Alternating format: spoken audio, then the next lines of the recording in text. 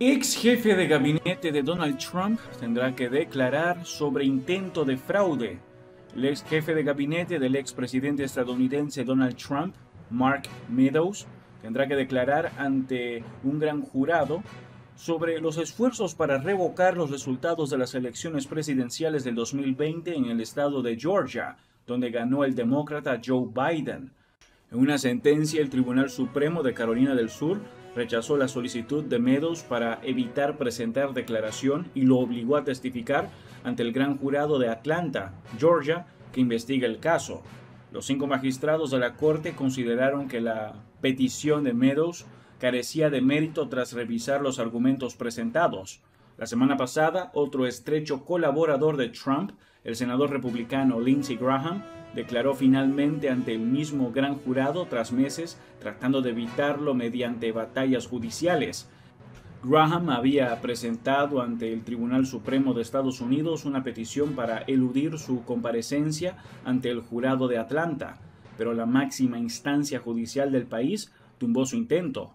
El caso se enmarca dentro de las investigaciones en Georgia sobre si Trump y otras personas, incluidos Meadows y Graham, presionaron a los representantes políticos de ese estado en relación con los resultados de las elecciones del 2022.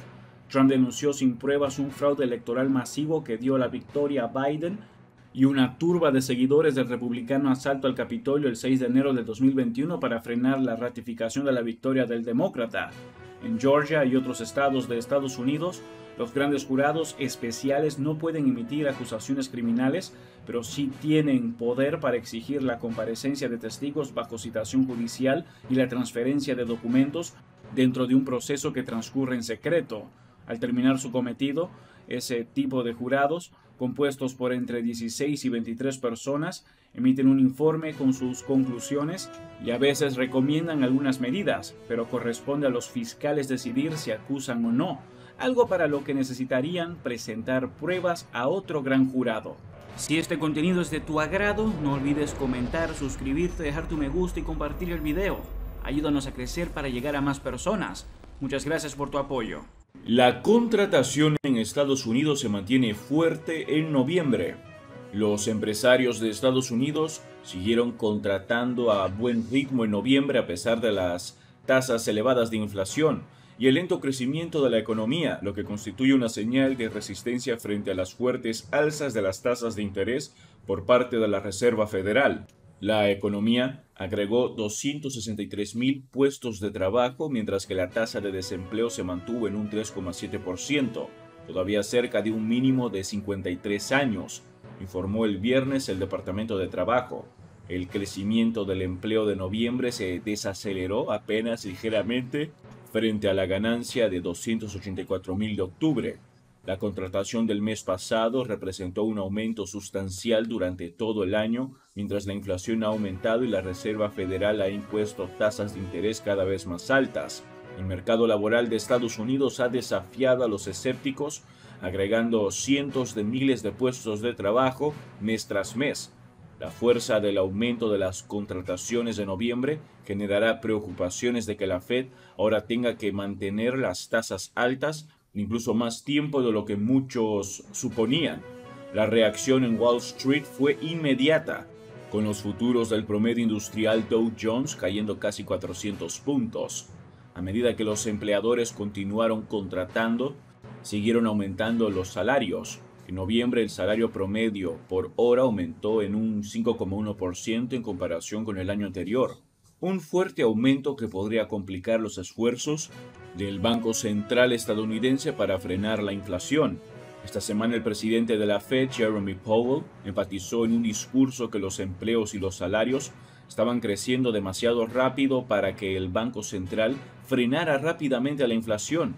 La Fed ha subido su tasa de referencia de casi cero en marzo a casi el 4% para tratar de hacer retroceder la tasa de inflación hacia su objetivo anual del 2%. Mientras tanto, las contrataciones constantes y los cheques de pago en aumento han ayudado a las familias estadounidenses a impulsar la economía. En octubre, el gasto del consumidor aumentó a un ritmo saludable, incluso después de ajustarse por la inflación. Los norteamericanos incrementaron sus compras de automóviles, comidas en restaurantes y otros servicios. Después de haberse contraído en los primeros seis meses del año, la economía de Estados Unidos se expandió una tasa anual del 2,9% en el último trimestre. Además de la fortaleza del gasto del consumidor, un aumento en las exportaciones ayudó a impulsar el crecimiento. Rusia no está dispuesta a negociar con Estados Unidos si su precondición es que se retire de Ucrania. El portavoz del Kremlin alegó que la negativa de Estados Unidos a reconocer sus territorios rusos complica la búsqueda de un terreno común.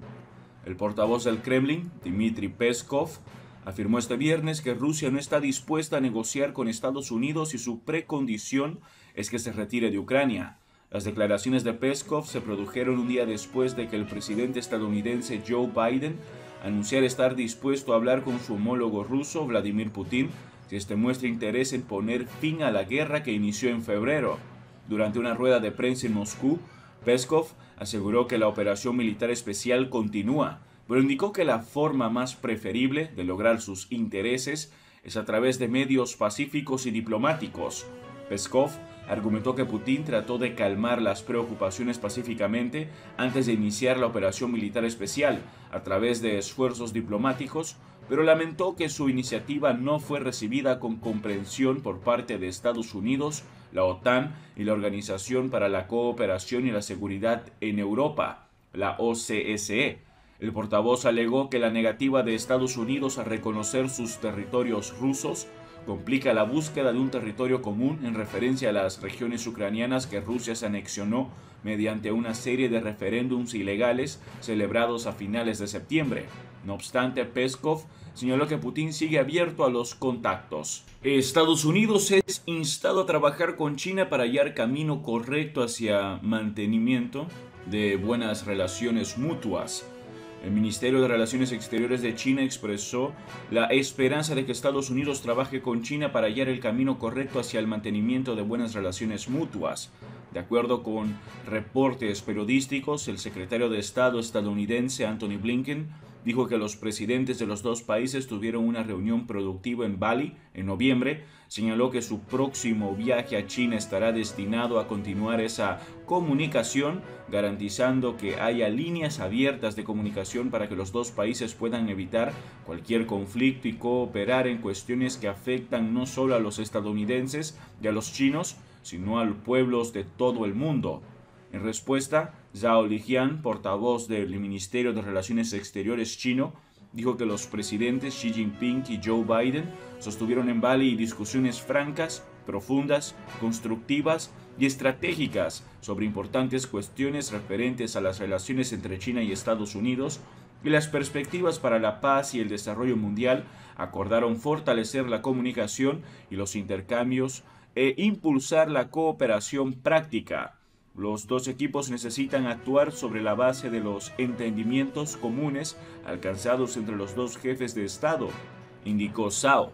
De acuerdo con las prioridades identificadas por ambos jefes de Estado, los dos equipos necesitan mantener el diálogo y la comunicación, gestionar, gestionar las tensiones y las diferencias e impulsar los intercambios y la cooperación, para añadir energía positiva y una válvula de seguridad a las relaciones entre China y Estados Unidos y generar estabilidad y certeza a este mundo turbulento y cambiante, agregó Zhao.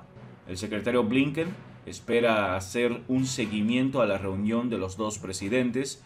China da la bienvenida a ello, afirmó. Añadió que la parte china siempre considera y hace crecer sus relaciones con Estados Unidos de acuerdo con los tres principios de respeto mutuo, coexistencia pacífica y cooperación de ganancias compartidos propuestos por el presidente Xi. Esperamos que Estados Unidos trabaje con China en la misma dirección y aproveche plenamente los importantes entendimientos comunes alcanzados entre los dos jefes de Estado y elabore conjuntamente los principios directrices o un marco estratégico para las relaciones China-Estados Unidos, con el fin de hallar el camino correcto para que los dos grandes países mantengan buenas relaciones y reencaucen las relaciones China-Estados Unidos hacia el camino del crecimiento sano y estable para beneficios de los dos países y del mundo en su conjunto, señaló Sao. Eso es todo por ahora. No olviden comentar y suscribirse. Hasta el próximo video.